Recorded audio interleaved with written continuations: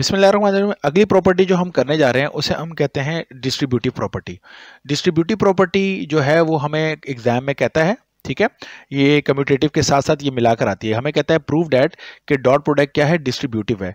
तो डिस्ट्रीब्यूटिव का लफ्ज़ अगर आपको ज़्यादा लिखा हुआ नज़र ना आए तो ये जो है ना, जो मैंने इक्वेशन लिखी है, ये इक्वेशन बेसिकली डिस्ट्रीब्यूटिव है, ठीक है? तो ये ज़्यादातर लिखी हुई नज़र आती है कि ए डॉट और पैरेंथेसिस बी प्लस सी किसके इक्वल है? A dot b plus a dot c तो ये हमें प्रूव करना होता है। तो let's go and prove it के देखते हैं किस तरह प्रूव होगा, ठीक है?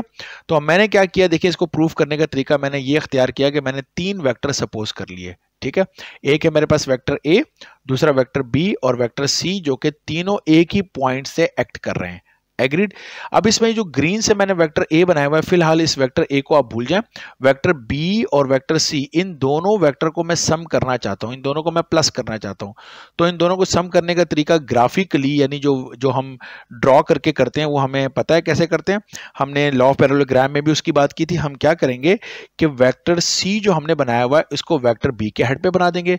तो सी जिस तरह मैंने बनाया है, इसको एग्जैक्टली exactly इसी तरीके से मैं किसके? वैक्टर बी के हेड के ऊपर बना दूँगा। ठीक है? तो सी के सामने मैंने क्या बना दिया? सी वेक्टर बना दिया। और बी वेक्टर को वेक्टर सी के हेड पे ड्रॉ कर दूँगा। तो बी को मैंने एज इट इज़ ये ड्रॉ कर दिया सी के हेड पे। ठीक है? तो इसको थोड़ा सा मैं एक्सटेंड कर लेता हूँ इस तरीके से।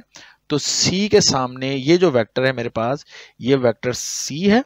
आसान सी बात है, मेरा ख्याल समझ में आ रही है। और बी के सामने ये जो वेक्टर है, ये मेरे पास वेक्टर बी है। एग्रीड तो अब मुझे बताइए, इन दोनों का रिजल्टेंट क्या होगा? तो हम जानते हैं, ये जो ऊपर जो पैरलोग्राम बना है, इसका रिजल्टेंट क्या होता है? जहाँ से ये दोनों एक्ट कर रहे थे, वहाँ से हम एक डायगनल ड्रॉ करते हैं। तो ये मैंने डायगनल ड्रॉ कर दिया। ठीक है? ये डायगनल मैंने ड्रॉ कर दिया, जो कि क्या है? बी और सी का सम है मेरे पास। ये डायग्राम समझ में आ रही है? ठीक है? यहाँ तक जैसे हम ड्रॉ करते हैं, अब उसके बाद हम क्या करते हैं? हम ये कहते हैं कि ये जो बी प्लस सी वैक्टर आपके बी प्लस सी ठीक है जो मैंने ड्रॉ किया है, इस पॉइंट को हम ओरिजिन मानते हुए या इस पॉइंट को आप ओ कह लें ओके okay? कोई इशू नहीं है इसके अंदर। ये जो b प्लस सी आपका जो वेक्टर है, इसको क्या करते हैं? ये इसको मैं कह देता हूँ, ये किसके इक्वल है? R के इक्वल है राइट अच्छा ये जो b प्लस सी जिसको मैंने r के इक्वल कहा है, आप सिर्फ़ आप इस r वेक्टर को, ये जो मैंने रेड से बनाया हुआ है, इसको अगर आप गौर से देखें और मैं यहाँ से एक परपेंडिकुलर ड्रॉ करता हूँ, बिल्कुल स्ट्रेट डाउनवर्ड यहाँ पर ड्रॉ करता हूँ। तो क्या ये वही बात नहीं है जो मैंने आपको पहले प्रोजेक्शन के अंदर बात समझाई है कि ये जो पूरी लेंथ है, ये जो पूरी लेंथ है, यानी यहाँ से लेकर यहाँ तक, ये सारा, ठीक है? ये सारा इस आर का वेक्टर ए की डायरेक्शन में पढ़ने वाला प्रोजेक्शन नहीं हुआ जिसको मैं कहूँगा आर ए ये मेरी बात समझ में आ रही है? देखिए ना, अगर आप ऊपर से लाइट को फॉल कराते हैं, जिस तरह मैंने कम्यूटेटिव में बात की है तो ऊपर से जो भी लाइट आएगी, सबको, सब वेक्टरों को भूल जाएँ। बी सी ये बी सी सबको भूल जाएँ। सिर्फ़ आर को जहन में रखें। तो ऊपर से आने वाली लाइट को ये आर वैक्टर रोकेगा तो ये जो पूरा है, ये पूरा प्रोजेक्शन बनेगा किसका? वेक्टर आर का वेक्टर ए के ऊपर, जो कि मैंने यहाँ मार्क किया हुआ है। क्लियर है? इसी तरीके से, इसी तरीके से अगर आप क्या करते हैं, सिर्फ़ वेक्टर बी को जहन में रखें। तो अगर आप वेक्टर बी को जहन में रखते हैं तो ऊपर से आने वाली लाइट को जब वेक्टर बी रोकेगा तो ये सारा, यानी यहाँ से लेकर यहाँ तक ये वेक्टर बी का वेक्टर ए पे पढ़ने वाला प्रोजेक्शन होगा, क्योंकि वेक्टर ए है।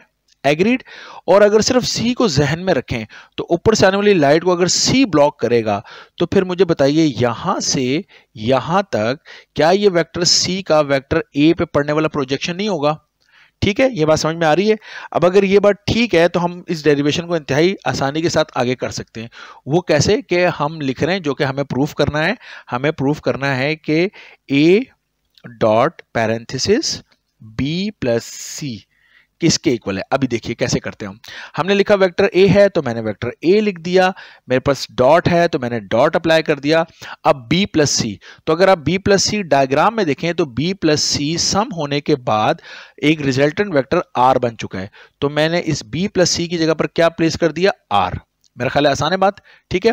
अब मैंने जो इससे पहले कम्यूटेटिव में आपको वेक्टर की जो डॉट प्रोडक्ट की न्यू डेफिनेशन बताई थी, अगर आप वो अप्लाई करते तो वो डेफिनेशन क्या थी?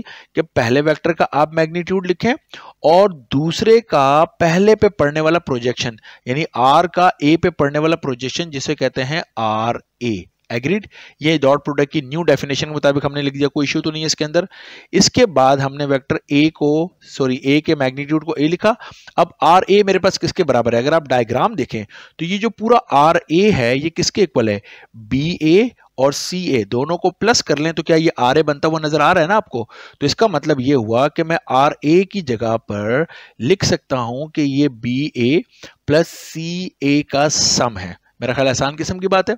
इसके बाद नेक्स्ट स्टेप के अंदर हम क्या कर रहे हैं, इसको मल्टीप्लाई कर दीजिए तो ये हो जाएगा ए बी ए और प्लस ए सी ए एग्रीड और इससे पिछले वाले डेरिवेशन में dot product dot product commutative होता है, उसके अंदर मैंने आपको इसको रिवर्स करना सिखाया था, याद है? मैंने क्या बताया था? जो पहला लिखा हुआ उस वेक्टर को लिखें एरो लगाइए डॉट और ये जो दूसरा वेक्टर जिसके लिए सबस्क्रिप्ट में ए लिखा है, इस छोटे वाले ए को छुपा ले तो क्या बचा? बी ना तो ये बना ए डॉट बी सही है? प्लस इसी तरीके से इसको कैसे लिखेंगे? देखिए पहले क्या लिखा है? ए जो पहला लिखा है, उसको एज इट इज़ लिख देते हैं डॉट और ये जो दूसरा वेक्टर है, जिसके नीचे सबस्क्रिप्ट में ए है, इस छोटे वाले ए को छुपा लें। जो नीचे सबस्क्रिप्ट में नीचे लिखा होता ना, इसको सबस्क्रिप्ट कहते हैं, इसको छुपा लें। तो क्या बचा? सी तो ये हुआ ए डॉट सी जबकि लेफ़्ट हैंड साइड पे हमारे पास क्या चीज़ चल रही है? हमारे पास चल रहा है a dot parenthesis b plus c तो क्या हमने प्रूफ कर दिया? तो हमने ये चूँकि प्रूफ कर दिया, ये हमें प्रूफ करना था। सो हैंस हमने ये प्रूफ कर दिया है कि जो डॉट प्रोडक्ट है वो डिस्ट्रीब्यूटिव होता है, ठीक है?